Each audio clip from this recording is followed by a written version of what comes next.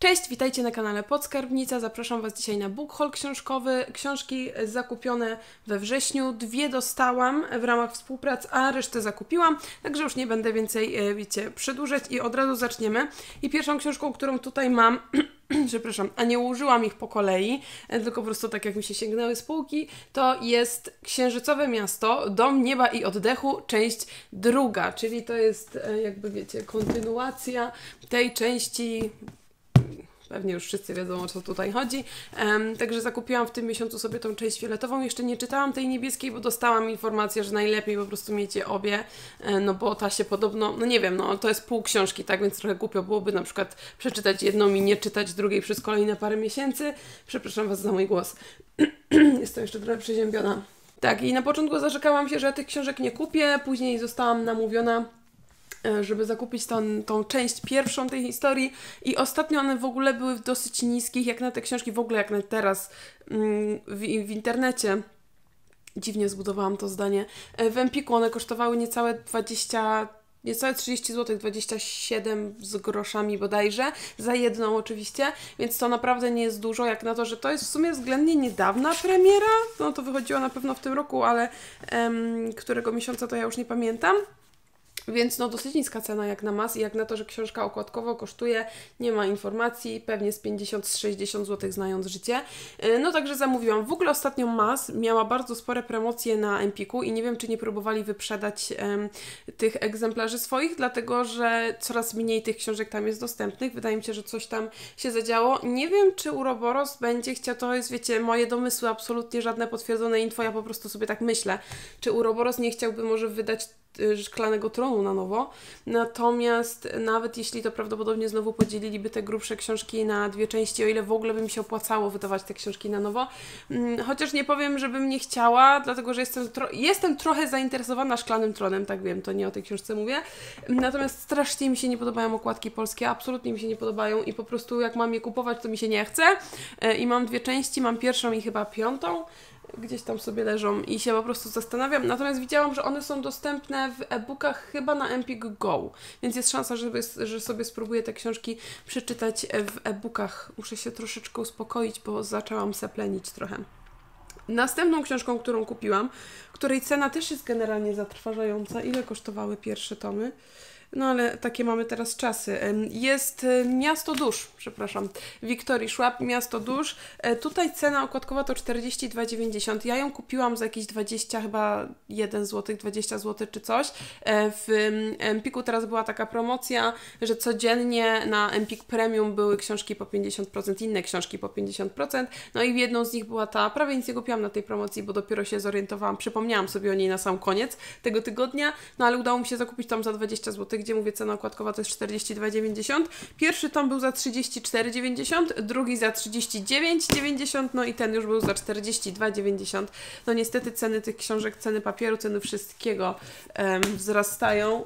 Um, także no książki, teraz dorwać książkę za 20 zł to jest normalnie cudo. Tak jak wcześniej książka za 10 zł to było coś wspaniałego, tak teraz książka za 20 um, jest super okazją. Także zakupiłam tą historię, to jest zakończenie tej trylogii, z tego co ja tutaj rozumiem, bo wydaje mi się, że to jest właśnie trylogia, czyli trzeci tom o przygodach Cassidy. Jestem bardzo zainteresowana, tym bardziej, że idzie jesień, więc myślę, że to będzie naprawdę bardzo fajna książka do przeczytania na jesień.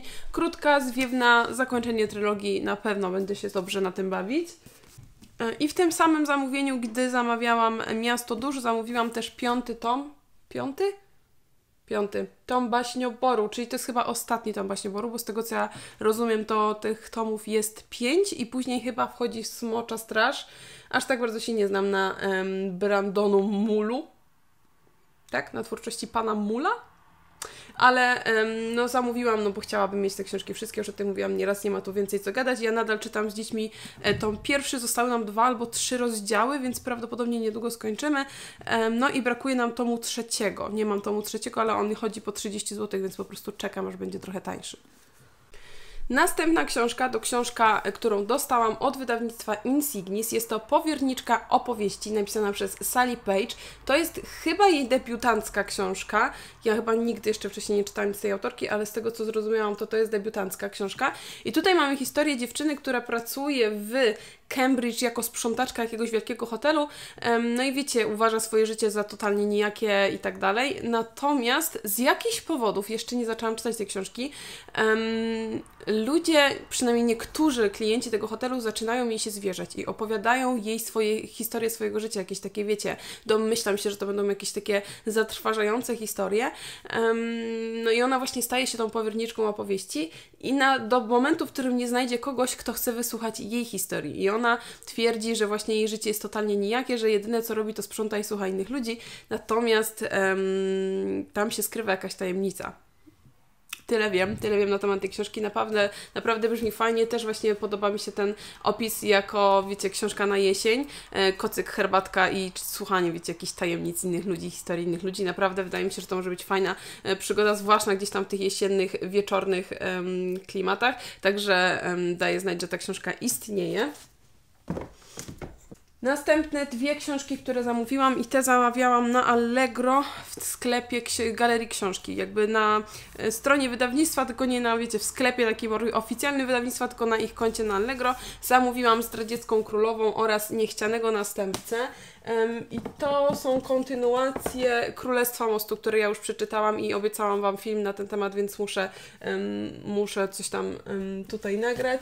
Możliwe, że nagram reading vloga może tak zrobimy, że nagram reading vloga z czytania tych książek, dlatego że wczoraj w nocy sobie sięgnęłam po ten tom i jestem na stronie setnej i na razie może nic zdradzać nie będę, co myślę o tym tomie, dlatego że no, nagram ten następny film. Natomiast chciałam tylko dać znać, że właśnie tutaj mamy Królestwo Mostu.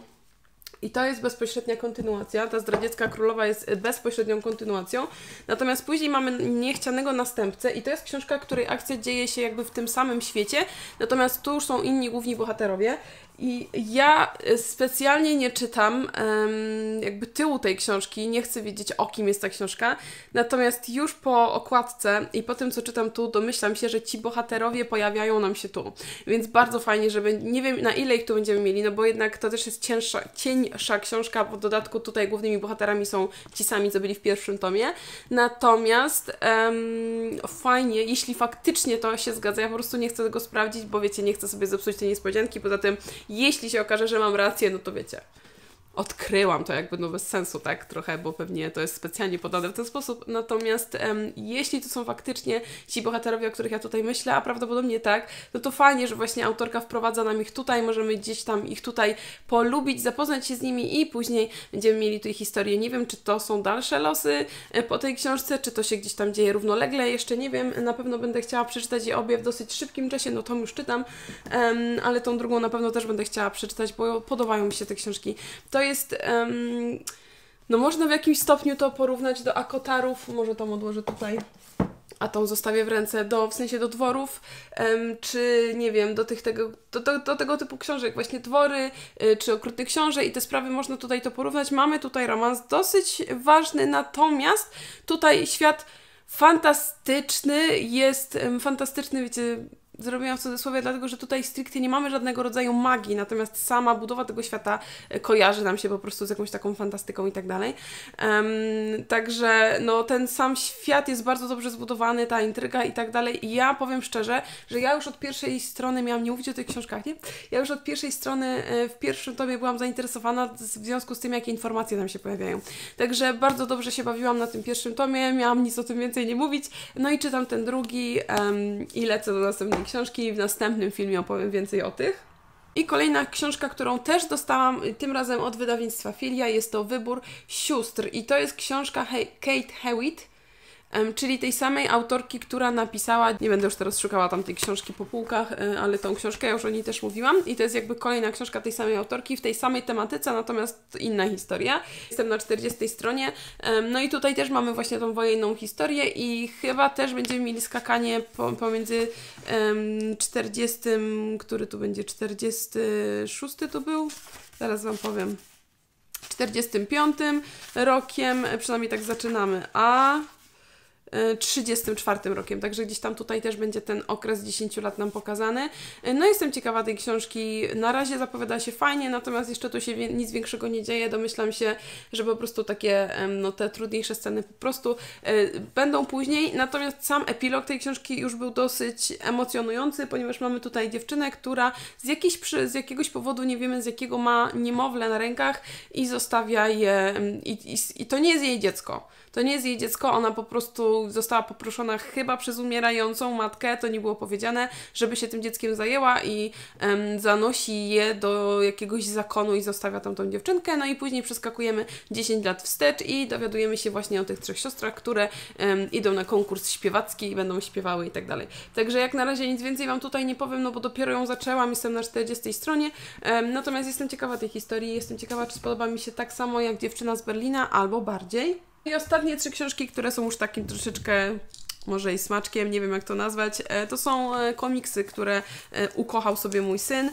czyli Sonic. Ostatnio mają fazę na Sonika, zwłaszcza mój starszy syn i przeczytał ten komiks już chyba z 16 razy, a dostał go z 3 tygodnie temu, więc zakupiłam mu tą drugi i trzeci, jeszcze mu nie pokazałam, bo jest w trakcie czytania lektury szkolnej i mu powiedziałam, że dostanie drugi, trzeci tom, jak przeczyta lekturę. Natomiast powiem Wam szczerze, że jeśli macie chłopców, raczej myślę, którzy gdzieś tam interesują się tą postacią, to ja polecam te komiksy, bo one naprawdę są spoko. Ja ich nie czytałam, co prawda, natomiast no, mój syn się zakochał i no, lubi, te, lubi tych bohaterów, także tutaj informuję, że takie książki są. Myśmy je zamawiali na Allegro, wszystkie trzy bo one chyba nigdzie indziej nie były na razie dostępne. E, także tutaj mówię, daję taki, wiecie, takie info, że jak gdzieś tam macie jakiegoś chłopca w wieku 8, 10 lat, 11, to być może się tym zainteresuje, zwłaszcza jeśli zna tą postać z jakichś gier czy filmów i tak dalej, bo Sonic to też teraz takie filmy powstały, chyba dwie części wyszły i mój starszy syn właśnie sobie oglądał kiedyś te filmy, więc y, no bardzo się ucieszył z tych komiksów. Także tyle na dzisiaj, więcej nic nie zakupiłam. Um, uspokoiłam się trochę z tymi książkami, bo ja mam naprawdę sporo książek do przeczytania. Um, jeszcze odrobinę tych książek dostaję. Um, no i wiecie, staram się pozakupywać te, które które naprawdę bardzo chcę i które gdzieś tam są kontynuacjami um, jakichś serii, które mam, natomiast staram się po prostu ograniczać to kupowanie względnie mocno, żeby był jakiś cień szansy, że ja to wszystko przeczytam, po prostu. Także myślę, że tyle na dzisiaj. E, dziękuję Wam za uwagę. Dajcie znać, czy Wam się udało kupić coś fajnego w tym miesiącu i do zobaczenia w kolejnym filmie.